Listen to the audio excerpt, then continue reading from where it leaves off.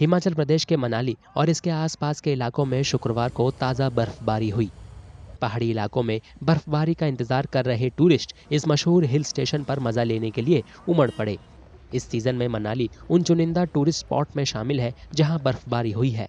I am visiting Manali for the first time I thought due to heavy rainfall the activities won't be there but it's very wonderful the paragliding was very wonderful I enjoyed the snow life snow very much Manali में बिछी सफ़ेद बर्फ़ की चादर के बीच कुछ टूरिस्टों ने paragliding की तो कुछ अपने अपने अंदाज में बर्फबारी का मज़ा लेते हुए दिखाई दिए। बहुत खूबसूरत था।